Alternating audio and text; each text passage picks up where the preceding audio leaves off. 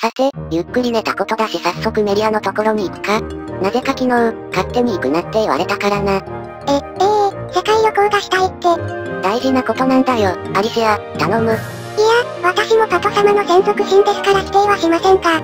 さすが、さすがはこの城のナンバー3だぜ。お互い苦労するわね、アリシア。いえいえ、たった二人の専属神の中じゃないですか。大丈夫ですよ。さすがは次期神王候補だぜ。私は最上級クラスの第4位です。まだまだ先ですよ。苦労しているところ、本当にごめんね。いや、今は特に苦労してないですよ。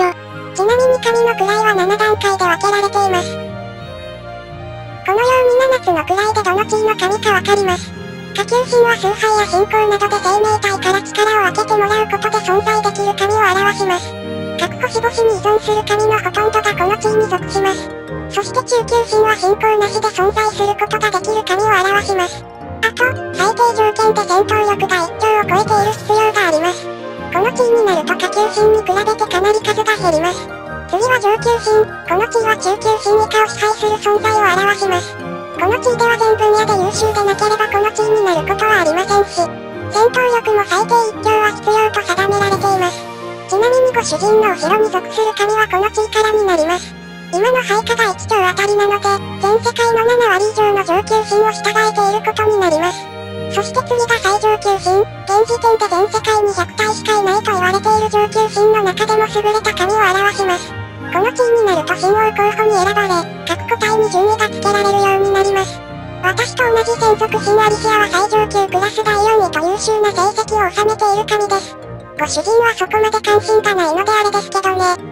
そして神王、各世界20体だけ存在する各世界の王となる存在です。各世界、つまり10の世界があるので、数は合計100体となります。この地位になるためには最上級神が現神王を倒すか、神王が指名するか、もしくは順位順に神王になるかの方法しかありません。この地位になると戦闘力も平気で1台を超えてきます。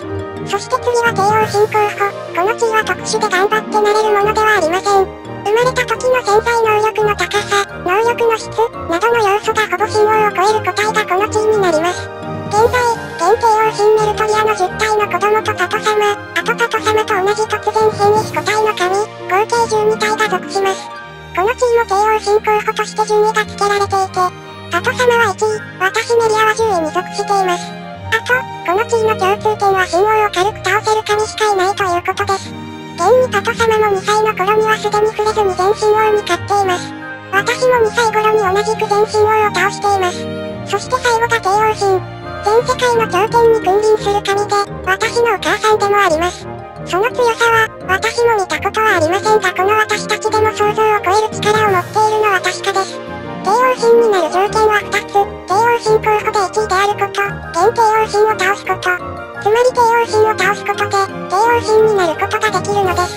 以上で神の地位についての説明終わります。それじゃあ悪いけど、配下の面倒よろしくな。毎回帰ってこないのですかどうせなら、その星で寝泊まりしたいそうです。は当然だろ、毎回帰ってきてたら意味がないだろ。あ、頭が痛くなってきたわ。わかりました。ですがパト様、私から一つ条件があります。条件、星訪問の時は必ずメリア様の言うことを聞いてください。メリア様は全世界の言葉と作法を全部習得してますから。お、そうだな、便利だな、全知全能。そういう時だけ褒めないでください。でもアリシアの言う通りです。ご主人は法則は理解してますけど、言語とか作法はからっきしですからね。それを言われると、それじゃあ決まりですね。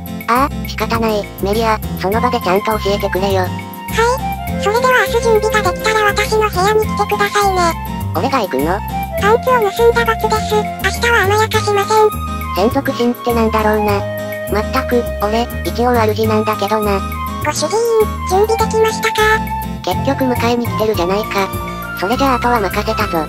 大丈夫です。私の分身をすでに1億体配置させましたので。最上級の家政婦。カなこと言ってないで早く行きますよご主人。今バカって言ったね。虫にバカって、泣くぞ。俺だって泣くんだからな。それじゃあアリシア、お願いね。はい、メリア様。そんなにパンツで怒ってるのか、メリア。もうパンツは関係ないですよ。ふふ、本当楽しそう。はそれじゃあ行くぞ、メリア。い、ご主人。こうして私たちは世界の星々を巡るようになったのです。はあ、つまんないな。帰ろっか。どどうせ帰らなかったら月下お姉ちゃんが迎えに来るだろうし。う、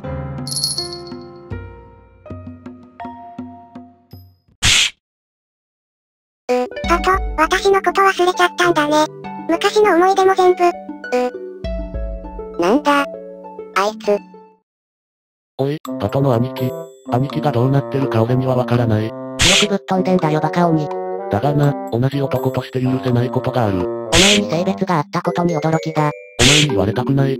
許せないこと、それは姉子を泣かせたことだ。お前が言ったらなぜか気持ち悪い世界の不思議。姉子を泣かせたことは俺は絶対に許せない。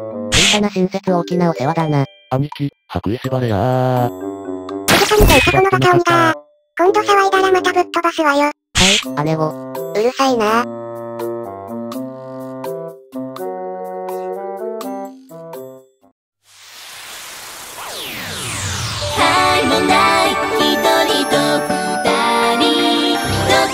ど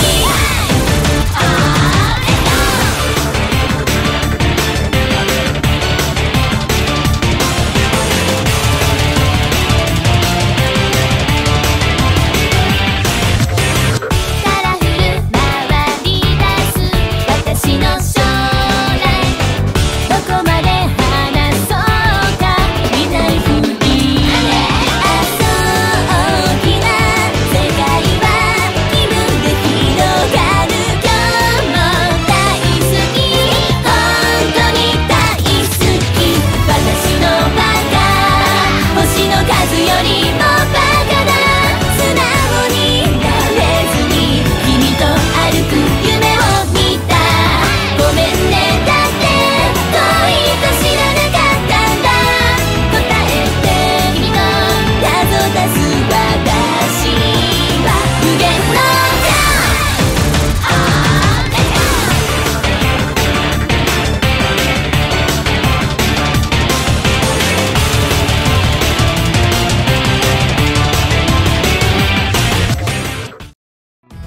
視聴ありがとうございました。楽しんでいただけたでしょうかぜひ気に入ってくださった方はチャンネル登録お願いします。他にも再生リストで過去の動画をまとめているので、気になった方はぜひ見ていってくださいね。それじゃあ寂しいけど今回の動画はこれで終わります。次回も私たちの動画を見てくれるとすごく嬉しいです。それでは次回も、楽しんでいってね